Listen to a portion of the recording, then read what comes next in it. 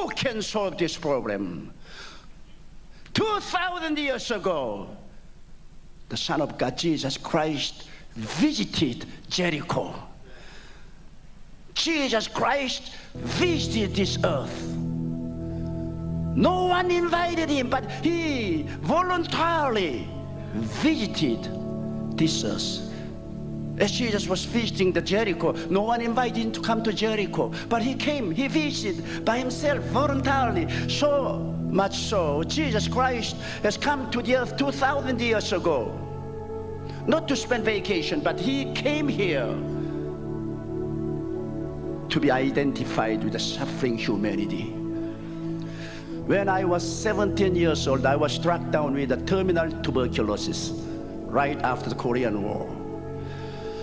My parents took me to hospital and the doctors checked over me and they found out that I had big cavity on the right middle of the, my right lung and my left is full of tuberculosis. And doctors, they shook their head and said, we can't operate on you.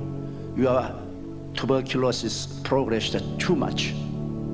And they said, with our medical science, we cannot help you. The doctor said, I'm sorry.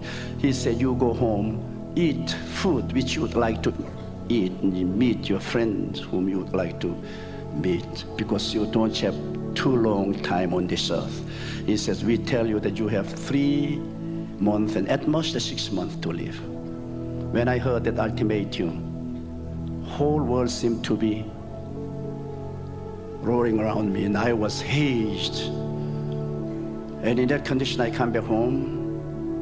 I took the three month calendar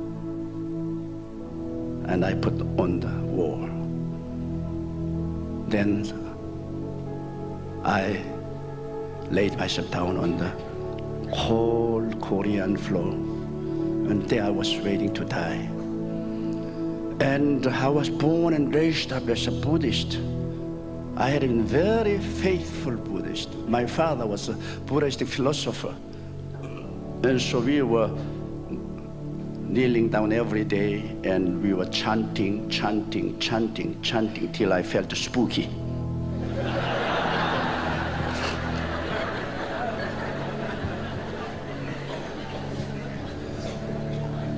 and uh, but uh, I was struck down with tuberculosis and uh, I was desperate. I say, Oh Buddha, I'm your faithful disciple.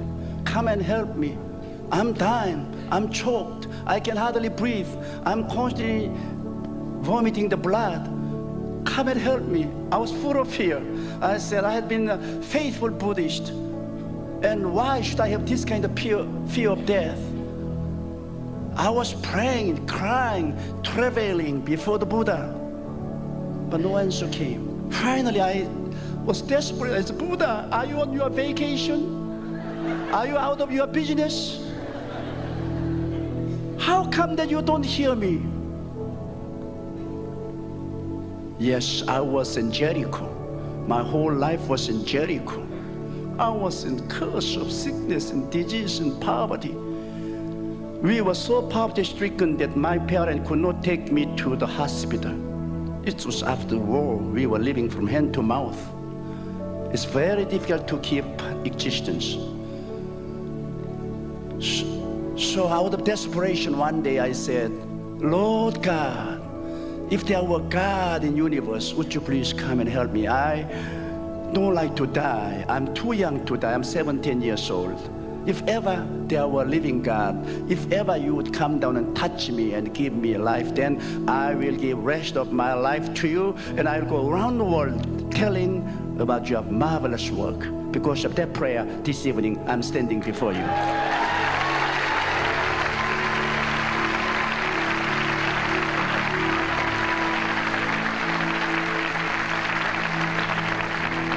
After that prayer, in a few days, one high school girl visits my home. She was on her way from school to her home, but she was carrying out home visitation. Since my small shack was the, the, the open and she walked in and seeing the pitiable plight, she began to tell me about Jesus. I said, no, I'm Buddhist. I'm not ready to change my religion on the deathbed please move out. But she said, no, no, no. I'm not preaching religion, she said. I'm preaching the Son of God. This is not religion. Son of God came 2,000 years ago to this earth to help such a person like you. I said, no, no, no. You get out of this place. So she all explained about Jesus and plan of salvation. She left. The next day, about the same time, she visited again with sunrising smile. She said, Oh, how are you? She said, Jesus Christ is touching you. Accept Jesus. And she was talking about Jesus. I said, oh, no, no, no, you get out. On the third day, she came back again. On fourth day, she came back again. On fifth day, she came again. She kept coming, and I was so irritated in my spirit. And one day, I really pulled up. I said, "You get out of this place." I said, when I open my mouth, millions of germs of tuberculosis are coming out. You would be killed. She said, I'm not afraid of dying. She said, Jesus is my protection. But I said, Jesus, no, Jesus, get out of this place. And she knelt down and she began to pray for my soul. And I saw the tears were rolling down on her cheeks. Tears, tears, tears. And when I saw those tears, my heart was shattered. These Christians have love. Buddhist, no one came and visited me. No one cried for me. But this young girl, she's not my fiancée. She's not my one of my relative. Why should she cry for me? That tear spoke more eloquent than any word. And I said, I lady, lady, don't cry. I'll become a Christian for you.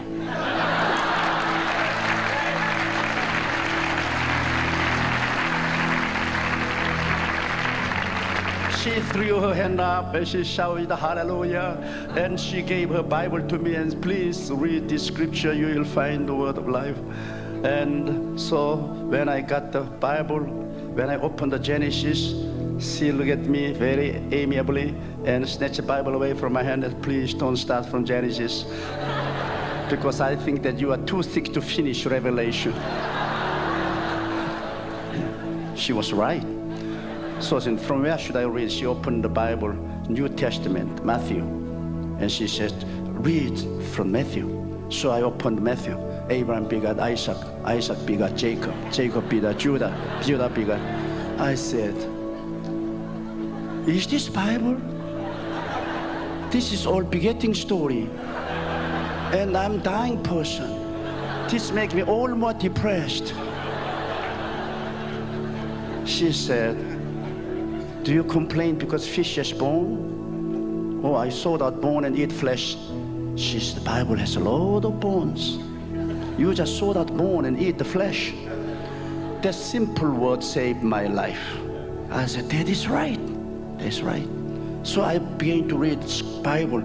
I was expecting to read some deep theory or logics like Buddhist teaching, but Bible was different. I was amazed because I was heathen. I was reading the Bible first time in my life. And Bible was talking about only one person, Jesus Christ. Jesus who forgave sins. Jesus who cast out devil. Jesus who heals the sick. Jesus who raised the dead. Jesus who fed the starved. Jesus who gave hope to the despaired people. I was so amazed. Can this be true? What kind of person is this?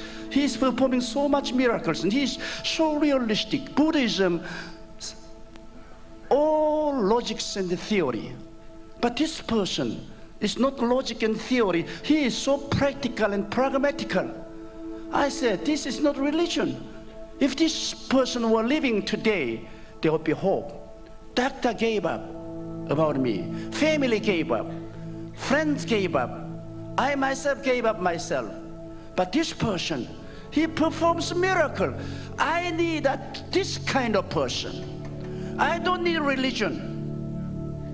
I need modern science. I need this kind of person.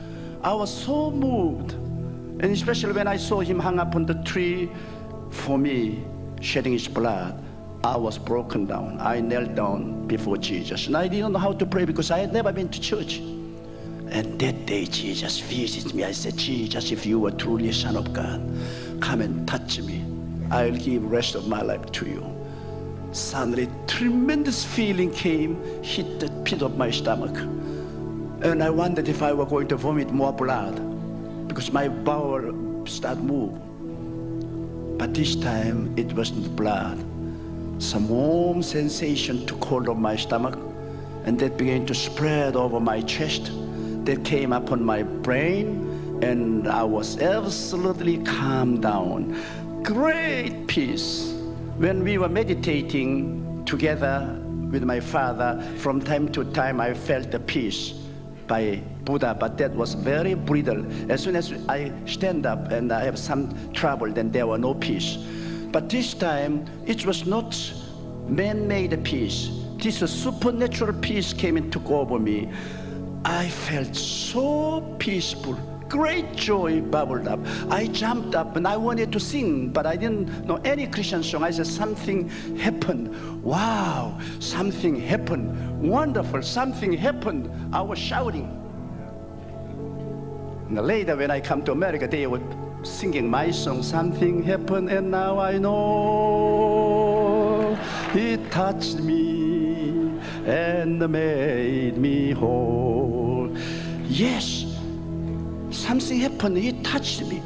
And I was so full of joy. And still, I was running the fever, I was coughing up the blood, I was feeling the pain all over my body. By my mind, I heard a still small voice You will overcome this sickness. You will not die, you will alive. You will become my servant. You will go end of the world preaching the gospel of Jesus Christ.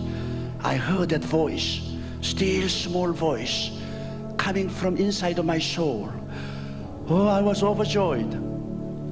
And uh, from that moment, I began to devour my Bible. I tell you, I could not understand the meaning of the Bible. But every scripture was pulsating with the life. And I could not keep on reading more than five verses because I was overjoyed. I need to rest a little while to continue because the Bible, every verse was pulsating with the life of Jesus Christ. Then, by and by, fever left me. And I regained the desire to eat. I devoured everything. I began to gain the strength. And I waited for three months and still I was alive. And I, went, I waited for six months and I was becoming stronger. And in one year I came out of the, my deathbed. Since that time until now, for 43 years I've been pastoring church.